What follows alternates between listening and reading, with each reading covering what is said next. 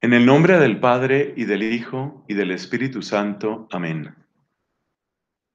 Empecemos dando gracias a Dios que nos ha permitido llegar hasta este punto de nuestro retiro y consideremos que es un regalo, un regalo que nosotros le hacemos al Señor de nuestro tiempo, pero un regalo infinitamente mayor el que Él nos hace. Cada luz cada gracia, cada emoción de su espíritu es un don inefable. Es Él mismo entregándose a nosotros. Con esta convicción, hagamos oración. Pidamos la luz que necesitamos, la gracia que necesitamos y la emoción que necesitamos. Cada persona es una historia y para todos tiene Dios sus bendiciones. Vivo sin vivir en mí y tan alta vida espero que muero porque no muero, que muero porque no muero. Vivo ya fuera de mí, después que muero de amor, porque vivo en el Señor que me quiso para sí.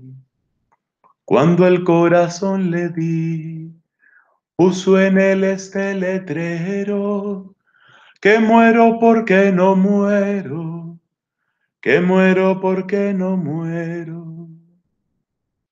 Esta divina prisión del amor con que yo vivo ha hecho a Dios mi cautivo y libre mi corazón y causa en mí tal pasión ver a Dios mi prisionero, que muero porque no muero, que muero porque no muero. Ay, qué larga es esta vida, qué duros estos destierros, esta cárcel, estos hierros en que el alma está metida Solo esperar la salida. Me causa dolor tan fiero que muero porque no muero, que muero porque no muero. Ay, qué vida tan amarga, dono se goza el Señor, porque si es dulce el amor, no lo es la esperanza larga Quíteme Dios esta carga, más pesada que el acero, que muero porque no muero, que muero porque no muero. Solo con la confianza vivo de que de morir, porque muriendo el vivir me asegura mi esperanza Muerte el vivir se alcanza. No te tardes que te espero, que muero porque no muero, que muero porque no muero. Mira que el amor es fuerte, vida no me seas molesta. Mira que solo te resta para ganarte, perderte. Venga ya la dulce muerte, el morir venga ligero, que muero porque no muero, que muero porque no muero. Aquella vida de arriba, que es la vida verdadera, hasta que esta vida muera, no se goza estando viva. Muerte no me seas esquiva, Viva muriendo primero, que muero porque no muero, que muero porque no muero. Vida que puedo ya darte a mi Dios que vive en mí, si no es el perderte a ti para merecer ganarte. Quiero muriendo alcanzarte, pues tanto a mi amado quiero que muero porque no muero, que muero porque no muero. Dios te salve María, llena eres de gracia, el Señor es contigo. Bendita tú eres entre todas las mujeres y bendito es el fruto de tu vientre, Jesús. Santa María, Madre de Dios, ruega por nosotros pecadores, ahora y en la hora de nuestra muerte. Amén. San José, ruega por nosotros. Santa Teresa de Jesús, ruega por nosotros. En el nombre del Padre y del Hijo y del Espíritu Santo. Amén. En nuestro recorrido por el castillo interior, obra preciosa y clásica de la espiritualidad cristiana, hemos avanzado hasta ahora llegando a las moradas segundas. Podemos decir que en cada una de estas moradas hay bendiciones que nos esperan, pero también combates.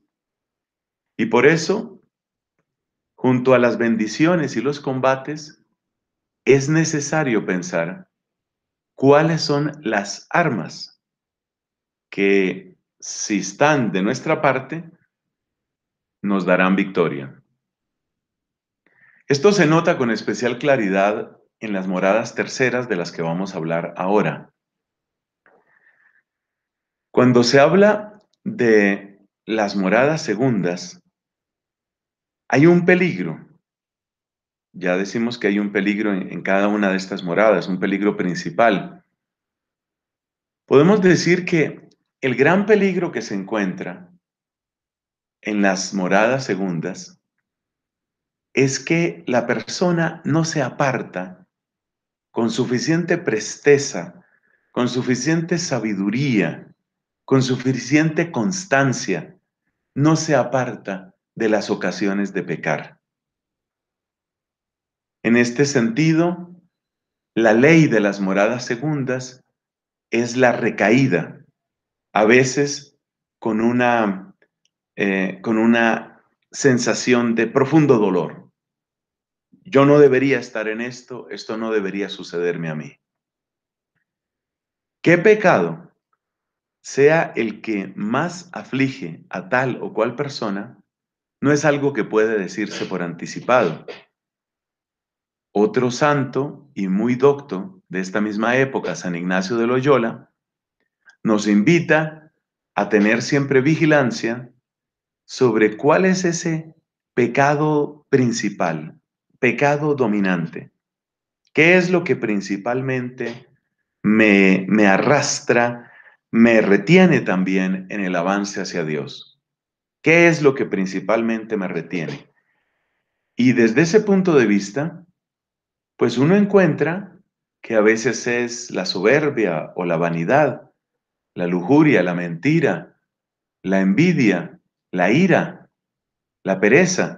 Cada uno ha de hacer ese ejercicio porque, aunque esta es doctrina general, la del castillo interior, pues no hay dos castillos iguales.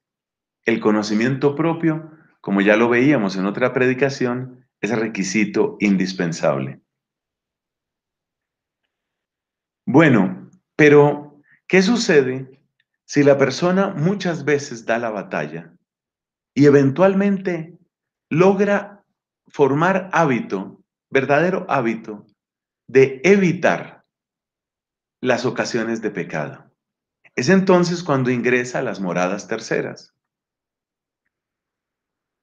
Nuestra santa nos habla de estas moradas terceras como algo, como una realidad que no es tan, tan escasa, que no es tan, tan extraña, tan rara.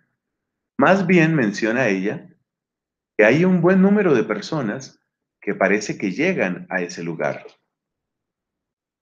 Entonces, apoyémonos en el resumen que nos ha venido acompañando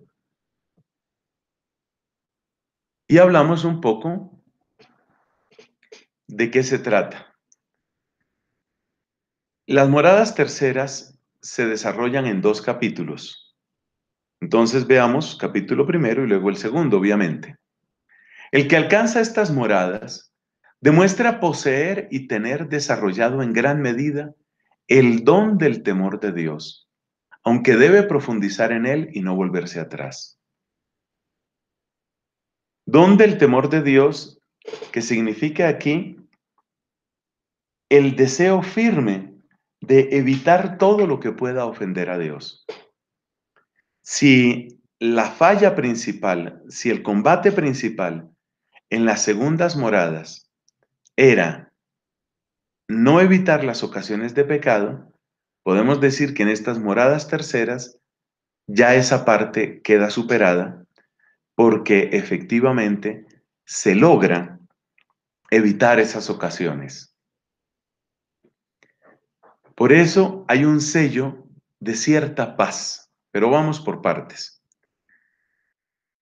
La advertencia de la santa es que no creamos que porque haya una cierta victoria, ya está lograda la victoria. Por eso advierte, hay que profundizar en el don del temor de Dios y no volverse atrás. Teresa se queja de tener siempre que vivir con los enemigos a las puertas y que las culpas pasadas sigan presentes en ella, por lo que se arroja a la misericordia divina y a la Santa Virgen María. Aunque no por ser tal y tener tal madre estéis seguras, no basta, como he dicho, para que dejemos de temer. Es decir, que si imaginamos estas moradas como espacios que se van avanzando, siempre estará el peligro de volver atrás. Entonces, si se avanza a las terceras moradas, hay que cerrar la puerta que nos devolvería a las segundas, y por eso hay que cultivar el don del temor de Dios. Esto va a reaparecer más adelante en forma de el amor a la humildad.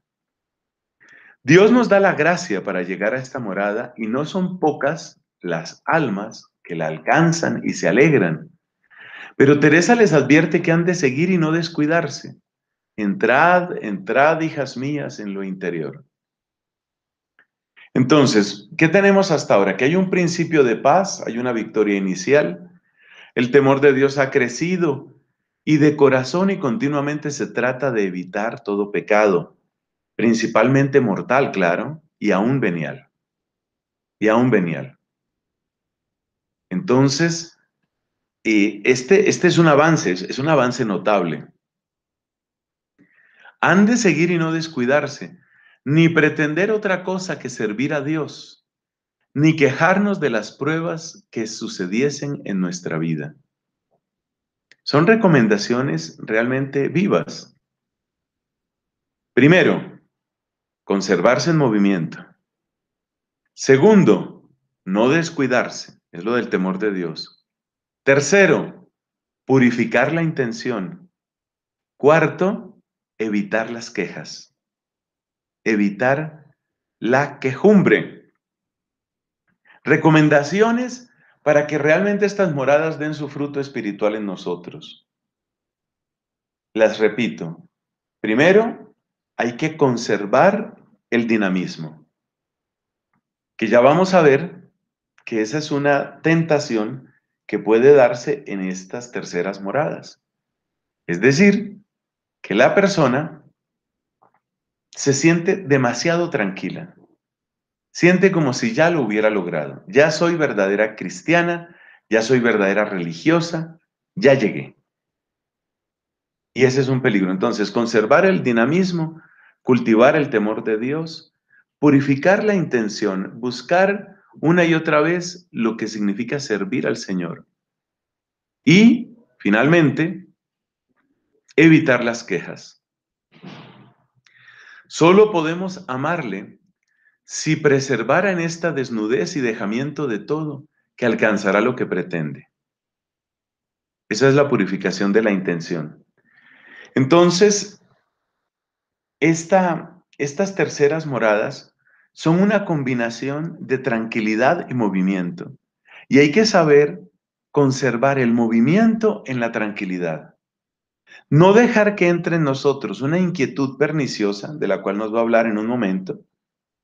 No dejar que entre una inquietud perniciosa, pero tampoco dejar que entre una tranquilidad perniciosa. El arte para navegar estas terceras moradas está en el balance entre tranquilidad y movimiento.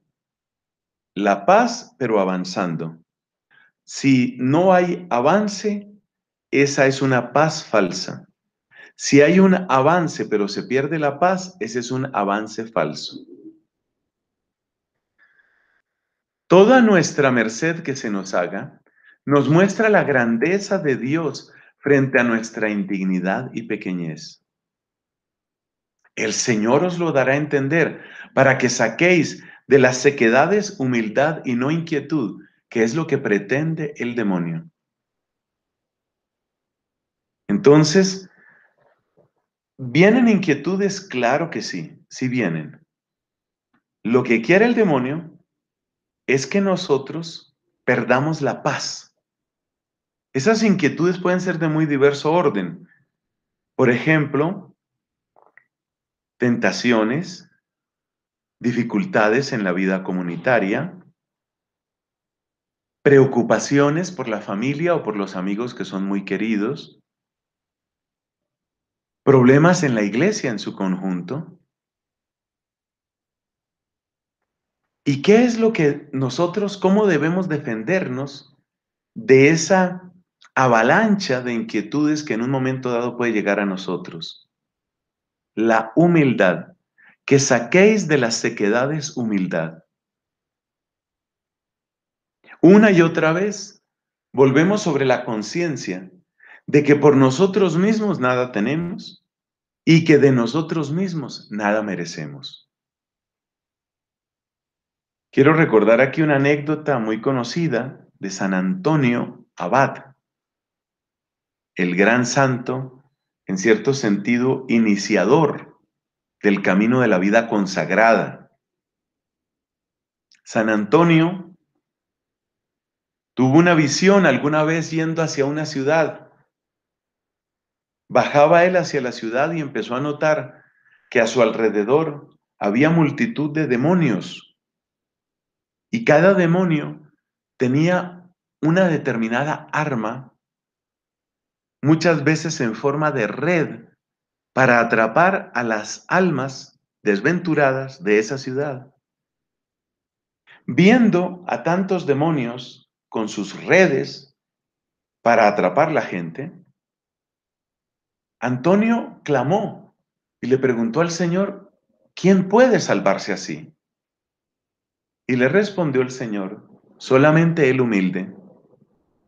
Ninguna red puede atrapar al humilde, porque el humilde siempre es más pequeño. Y como dice el Salmo, la trampa se rompió y escapamos. Aquí no es exactamente que se rompa la trampa, sino que no nos vence la trampa, porque pequeños como somos, nos escabullimos, escapamos. Entonces recuerda el dinamismo de las terceras moradas, paz y movimiento. No hay que consentir en una paz sin movimiento, que sería mediocridad, ni en un movimiento sin paz, que sería inquietud y que muy fácilmente puede precipitarnos en toda clase de faltas y pecados. Dios siempre nos da paz y conformidad, aunque no siempre nos dé lo que le pedimos, tan solo lo necesario para que nos conozcamos. Fíjate la, grandeza de las pruebas, de las sequedades. Es, es muy importante tener en cuenta que el gobierno supremo de nuestras almas está en Dios. Y por consiguiente, ese, ese gobierno divino es el que realmente nos conoce, el que sabe de verdad qué es lo que necesitamos. Por eso, no se puede caer en la queja. Aquí es donde se ve el peligro de las quejas.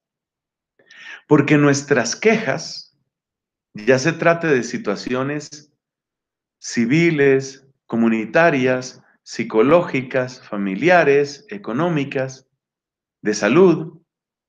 Nuestras quejas, si lo analizas bien, son como una especie de reclamo que le hacemos a Dios, como queriendo imponer nuestro propio plan, como prefiriendo nuestra manera de hacer las cosas.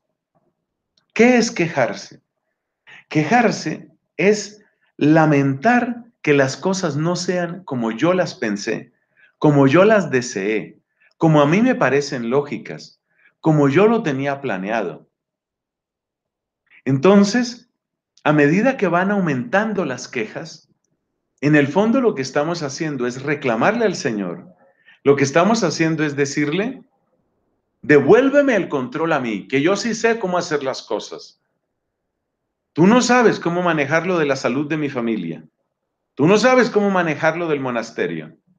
Tú no sabes cómo manejarlo de este país. Devuélveme el control a mí, porque yo sí sé qué es lo que habría que hacer. Por eso el ejercicio de ir renunciando a las quejas y el acoger con humildad aquello que va sucediendo es el camino seguro para avanzar por estas terceras moradas. Las personas que están en esta situación seguramente han llegado a una vida ordenada, precisamente porque ya no caen tan fácilmente o prácticamente no caen en pecado mortal y porque están llevando una vida de cierto orden, de cierta disciplina. Eso se ve especialmente en la vida religiosa, mucho más fácil en la vida religiosa. A medida que se va dando esa esa disciplina y se va dando ese orden, pues la persona siente que ha logrado avanzar. Incluso, si de verdad se trata de estas terceras moradas, la persona se da cuenta de que necesita alguna penitencia. No rehuye algunas penitencias, pero dice con mucha inteligencia y capacidad de observación Santa Teresa que quizás razona mucho, se mide mucho en lo que es sacrificio. Sí admite el sacrificio, pero no me pidan tampoco demasiado. Recordando aquel texto de San Pablo, el amor no lleva cuentas, pues nos damos cuenta nosotros que en estas terceras moradas no es que estemos exactamente en la plenitud de la caridad, porque si vamos llevando cuentas. En estas terceras moradas hay ejercicio de penitencia y hay actos de amor al prójimo, pero todavía muy razonados y muy medidos. Continuemos con el resumen y veamos el capítulo segundo de estas mismas terceras moradas. Dice en el capítulo segundo, Teresa trae a la memoria a muchas hermanas que llegaron a este estado y que vivían con gran virtud, pero que ante la menor prueba flaqueaban y se sumían en la inquietud, rechazando además, aquí aparece otro factor, rechazando además cualquier consejo que se les diese. Es, impresionante esto, es, es impresionante porque uno se da cuenta que de alguna manera el enemigo, cuando resulta vencido por un lado, trata de meterse por otro. Ya que no logra hacer recaer al alma en los pecados mortales que le eran más frecuentes, entonces ahora que ya tiene una pequeña victoria, ya le mete en la cabeza que es persona sabia y que lo entiende todo y que por consiguiente no debería recibir consejo de nadie. De esa manera se pasa de un modo de pecar, aquello que le hacía a uno recaer en el pecado mortal, a otro modo de pecar, a una especie de arrogancia que la santa describe con estas palabras. Como a tanto que tratan de virtud, paréceles que pueden enseñar a otros y que les sobra razón en sentir aquellas cosas. Todas las conciertan en su pensamiento que por Dios las sienten. Es decir, ya la persona se considera autoridad. ¿De dónde viene esa forma de arrogancia? Así sea sutil, pero ¿de dónde viene? Pues sabemos de dónde viene. Esa forma de arrogancia proviene de la misma victoria que la persona ha tenido. Como seguramente ha tenido que batallar mucho, ha tenido que luchar mucho para alcanzar ese pequeño islote de paz en el que ahora se encuentra, entonces considera que ese islote es suyo y considera que entonces no necesita consejos de nadie. Por el contrario, fíjate cómo la persona que, que, toma esta postura, pues obviamente se va a estancar. Por el contrario, tercer, Teresa afirma que en ocasiones Dios permite que sus escogidos sientan su miseria. Es decir, que si después de mucho batallar llego yo a un islote de paz, ese islote tampoco es mío. Ahí también necesito reconocer mi necesidad y pedir guía. Permite que sus escogidos sientan su miseria a fin de que se conozcan mejor, de que sean conscientes de su falta y que de ese modo crezcan en la humildad según la medida y las circunstancias de cada uno de sus fieles. Entonces, cuidado en estas terceras moradas, cuidado con esa, con esa cierta soberbia interior, ese creerse uno como ya muy docto, ¿no? Ya muy docto. Y por lo mismo, no necesito yo muchos consejos. O a veces, tal vez sí necesitaría consejos, pero ¿quién me podrá dar un consejo a mí? Toca buscar muy bien quién será quien me aconseje. Porque, porque yo no soy cualquiera. Básicamente esa es la, la postura de la persona. Inmediatamente cuando se describe así la situación, uno se da cuenta. Estamos ante una simple y llana escena de soberbia.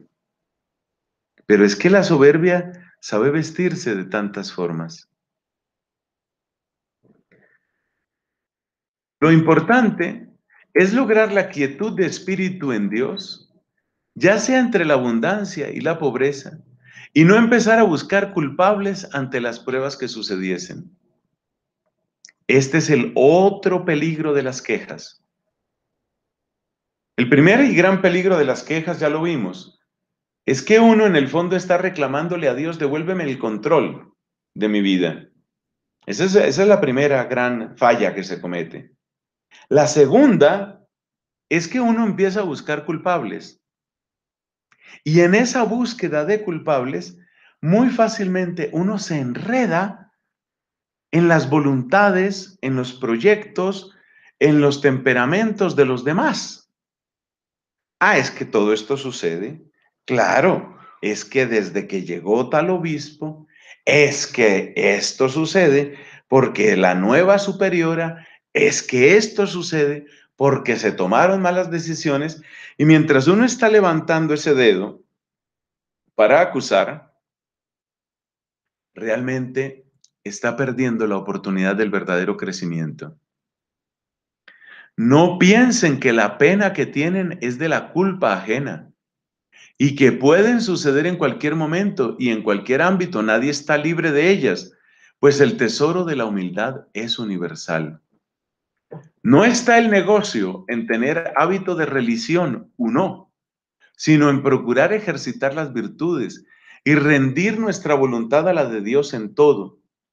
Humildad, que es el ungüento de nuestras heridas. Entonces, ahí es donde se ve que la gran victoria dentro de estas terceras moradas va a ir en esa dirección. ¿En cuál dirección? Va a ir en la dirección de no quejarse, conservar la paz y seguir avanzando. No quejarse, conservar la paz y seguir avanzando. Las almas que alcanzan estas moradas hacen con frecuencia penitencias, aunque sin llegar a dañar la salud. Y Teresa les anima a seguir avanzando, a no estancarse aquí.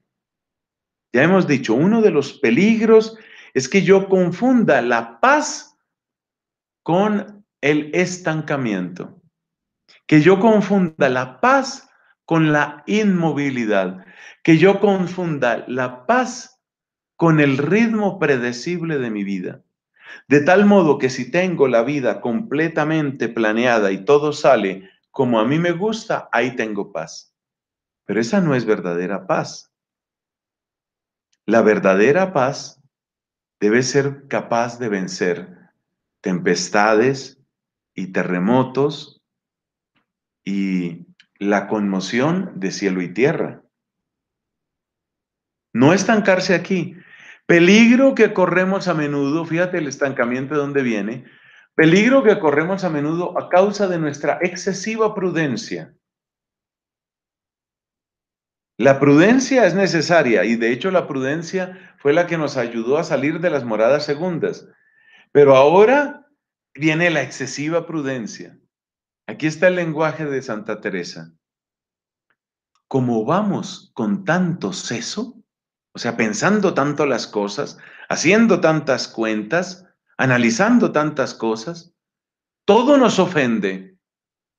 Como vamos con tanto seso, todo nos ofende porque todo lo tenemos y así no osamos pasar adelante, como si pudiésemos nosotras llegar a estas moradas y que otros anduviesen el camino. Qué, qué, cosa tan simpática, en medio de un castellano que nos cuesta sin duda un poco, pero qué cosa tan simpática, ¿no? Como si pudiésemos nosotras llegar, pero que otros caminen. Fíjate, fíjate lo gracioso que es eso, ¿no? Yo sí quiero llegar, pero no quiero viajar. Yo sí quiero viajar, yo sí quiero llegar, pero no quiero caminar. Por supuesto es absurdo, apenas uno lo dice. Y de nuevo el pensamiento de San Juan de la Cruz en la misma dirección. Querer llegar a estas alturas, a estas cimas, es de muchos. Querer hacer el camino es de pocos. Hemos de abandonarnos en las manos del Señor y seguir adelante con humildad plena y confianza absoluta, pues Él siempre nos da lo mejor y más conveniente, conforme se entreguen las almas a Él, aun cuando parezca que estamos perdiendo. La confianza es vital en esto, la confianza. ¿Por qué? Porque la confianza es la que va a permitir que el timón de la nave siga estando en los brazos de Cristo, en las manos de Cristo y no simplemente en nosotros. Esto suena razonable cuando uno está razonablemente bien, pero cuando llegan las dificultades, a veces es difícil lo que nos dice la santa, aun cuando parezca que estamos perdiendo. Creo que es importante hacer un pequeño comentario sobre qué significa eso de aunque parezca que estamos perdiendo. ¿Qué sucede? Que uno fácilmente considera como suyos y como permanentes los logros que consigue en el apostolado hacia afuera o en la paz interior en la virtud hacia adentro. Uno empieza a adueñarse de las cosas, a adueñarse. Por eso nos dijo la santa que había que tener este cuidado, este gran cuidado, de no, el gran cuidado de buscar una cierta desnudez. Hay una desnudez que es necesaria. ¿Y en qué consiste esa desnudez? Pues es desprendimiento. Es desprendimiento. Entonces, si uno se apega a lo que ha conseguido, o si uno se apega al efecto o al modo del apostolado, ese apego se convierte en un freno. Por eso se requiere esa santa desnudez, que no es otra cosa, sino un reflejo en la criatura de la desnudez de Cristo Señor en la cruz. Por eso también tenemos que eh, volver a la contemplación de la pasión de Cristo. Pero demos ejemplos de lo que significa este este estar perdiendo. Demos ejemplos de, ese estar perdiendo. Pensemos, por ejemplo, en una persona que ha tenido gobierno como superiora local, por ejemplo. Ha tenido gobierno. Le costó mucho, tuvo que sacrificarse mucho, pero también se lograron cosas. Pensemos en un religioso o religiosa que ha dirigido una obra, por ejemplo, un colegio, y ha logrado, ciertamente ha logrado cosas, con reconocimientos. Ay, los reconocimientos yo creo que a veces nos hacen más daño que bien. Con reconocimientos, con agradecimientos, con abundancia de lágrimas en la despedida. Qué pesar, pero ¿cómo así que te han cambiado? Pero ¿cómo va a ser esto? Bueno, pero ¿qué vamos a hacer? Y uno cree, uno cree que está libre. Y uno cree que está desprendido hasta que lo desprenden. Por eso la obediencia es de tantísima bendición, porque la obediencia precisamente en la medida en que sale de mis esquemas y de mi mirada, me obliga a verme. Fíjate lo, lo hermoso que es eso. La obediencia me obliga a verme porque me saca de mi mirada. Escribe esa frase que te conviene. La obediencia me obliga a verme porque me saca de mi mirada. Yo creía que tenía gran, gran paz y tenía que, creía que tenía gran madurez y bueno, yo tenía ciertas ideas sobre mí. Pero cuando se interrumpe un apostolado, cuando se pierde la ocasión de recibir esa caricia emocional que muchas veces entraña el estar con personas que sabemos que nos valoran, entonces la persona seguramente siente que retrocede. Yo estaba mejor antes. Ese es un modo de retroceder. Entonces, uno a veces siente que está perdiendo, pero la razón por la que siente que está perdiendo es porque ponía su confianza ahí, exactamente ahí, en eso que le sucedía. También sucede con bienes interiores. Por ejemplo, uno puede tener una cierta oración de recogimiento, pero es un recogimiento que depende de que nadie se meta conmigo. Un recogimiento que depende de que me dejen en paz. O un recogimiento que depende de que mi salud esté perfecta. Por eso hay que preguntarse, ¿qué sucede con mi recogimiento cuando la salud se quiebra, ¿qué sucede con mi recogimiento? Con eso que yo he llamado paz interior.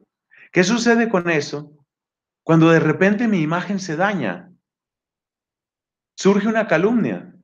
Algunos hemos sufrido esa clase de experiencias. Algunos hemos pasado por situaciones así de, calumnia. ¿Qué sucede con, la, con el recogimiento? ¿Se, me acaba la oración? ¿Cómo está de verdad mi castillo? ¿Cómo estoy de verdad ante Dios? Entonces yo sentía que tenía mucho recogimiento y que tenía mucha oración, pero luego resulta que viene una dificultad, aparece una calumnia, tengo un conflicto con un superior y ya no me logro concentrar en nada. Y seguramente voy a añadir otro pecado al apego que ya tenía. ¿Y cuál va a ser ese otro pecado? Seguramente voy a añadir el, pecado de, estar juzgando y condenando. Entonces, mi vida espiritual, voy a decir, mi vida espiritual se dañó desde que llegó tal superior. O mi vida espiritual se dañó desde que me llegó tal enfermedad. Por eso la importancia de lo que ella dice necesitamos avanzar aunque a veces nos parezca que estamos perdiendo. Mira lo que nos dice. Cuando no es nuestra falta, justo es el Señor, y su majestad os dará por otros caminos lo que os quita por este. Una palabrita de consuelo, ¿no? Y muchas veces uno ve que es así. Muchas veces uno ve que por un lado se pierde por ejemplo, me siento incomprendido o me siento calumniado eh, o me siento aislado, bueno, tantos sufrimientos emocionales, psicológicos que uno tiene, me siento así. Pero si uno lo acepta en clave de Dios es el que va llevando la ruta, Él es el que tiene el timón, luego uno descubre que eso que parece que he perdido, en realidad lo gano por otro lado. En realidad gano. En realidad es Él el que me va llevando. A este respecto me parece importante señalar lo que nos cuenta el libro de los Hechos de los Apóstoles. Cuando llegaron los misioneros con Pablo a la cabeza, cuando llegaron a la ciudad de Filipos, eso está a la altura de los capítulos 15, 16 de Hechos de los Apóstoles. Y hay que ver la serenidad con que ellos hablan de, queríamos ir a tal parte, no se pudo, y luego quisimos ir a tal parte y no salió. Es decir, el fracaso, el desconcierto, la frustración son parte de nuestro camino, son parte de nuestra ruta. No se avanza sin frustración, sin contradicción, sin perplejidad, no se avanza. Y esa será la gran tentación en las terceras moradas. Querer uno quedarse estático ya lo hemos dicho varias veces, sin darse cuenta que el avance muchas veces se da por esa extraña combinación de consuelos y desconsuelos, de cosas que funcionan y cosas que no funcionan, de dolores inesperados y sorpresas igualmente inesperadas. Así es como me lleva Dios. Los dolores inesperados me muestran mi nada. Las sorpresas inesperadas me muestran su amor, me muestran que Él es el que es. Los dolores inesperados me muestran que yo soy el que no soy. Las sorpresas inesperadas me muestran que Él es el que es. Por ello habremos de cultivar en nosotros la obediencia y tratar con quien ya le conoce para conocernos, reconociendo nuestras faltas y en silencio y esperanza procurar vivir siempre. En silencio y esperanza. Entonces, las, las tentaciones, yo creo que ya están bastante claras. Las tentaciones aquí son el estancamiento, la inquietud, la arrogancia, la arrogancia de yo ya sé, un cierto egoísmo, medirse mucho en la penitencia o en la caridad, El quejarse, todas esas son batallas propias de estas terceras moradas. El quejarse, el estarse uno quejando, que es una manera de reclamar el control y que es también una invitación a buscar culpables. Entonces, cerremos esta reflexión resumiendo cuáles son nuestras armas. La más importante va a ser siempre humildad con temor de Dios. En estas terceras moradas, humildad con temor de Dios. O sea, no perder el temor de Dios, que es la gran adquisición también de las terceras moradas. Humildad con temor de Dios. Luego, obediencia. La obediencia ayuda extraordinariamente. Obediencia. Tratar con quien ya le conoce, con quien ya conoce al Señor, para conocernos. Obediencia. Volverse con constancia a la pasión de Jesucristo para reconocer en su desnudez el modelo nuestro. ¿Qué me voy a llevar? ¿Qué me voy a llevar?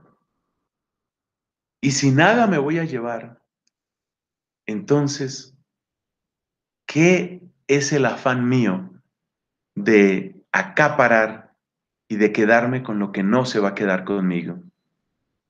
Mira esa frase. ¿Para qué quiero quedarme con lo que no se va a quedar conmigo? Si no se va a quedar conmigo, yo, ¿por qué quiero quedarme con eso? Entonces la pasión de Cristo será siempre manantial de amor y será una catequesis permanente. Una catequesis fuerte, una catequesis que poco a poco nos va modelando. Poco a poco nos va modelando. Hay una frase que decía en otra predicación y que creo muy bien aquí. No se hacen esculturas acariciando la piedra. ¿Has visto alguna vez a un escultor que se dedique solo a acariciar la piedra?